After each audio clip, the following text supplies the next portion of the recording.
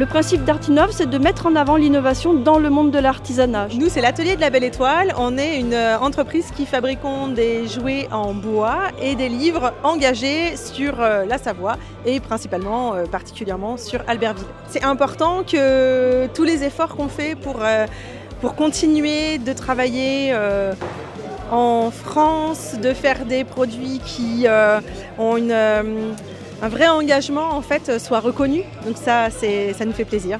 Alors ce soir, nous avons remis le prix euh, innovation sociale ou sociétale. C'était pour nous euh, un plaisir surtout de récompenser euh, une entreprise qui s'engage dans la durabilité, dans la proximité et dans l'envie de faire du durable et de l'éco-responsable.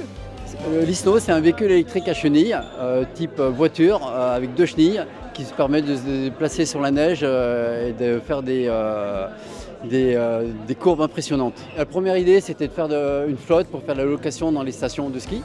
Euh, et, après, il y a plein de possibilités sur euh, l'utilitaire aussi. J'ai créé une vinaigrerie artisanale à La Biole, donc je transforme à l'ancienne dans des fûts de chêne, des vins de Savoie, du cidre et j'utilise ces vinaigres faits à l'ancienne pour faire tout un tas de, vinaigres de spécialité qu'on voit devant moi. C'est une super nouvelle parce que ça donne une vraie visibilité à l'activité.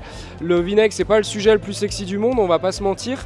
Donc euh, c'est un coup de projecteur qui est vraiment, qui est vraiment bienvenu et j'espère que ça, ça générera de, l'intérêt pour, euh, pour cette activité et ces produits. En fait, euh, la céramique, c'est tout, toute une partie de ma vie, c'est être créative, c'est Faire de l'expérimentation, c'est rencontrer un public, euh, c'est vivre de ma passion.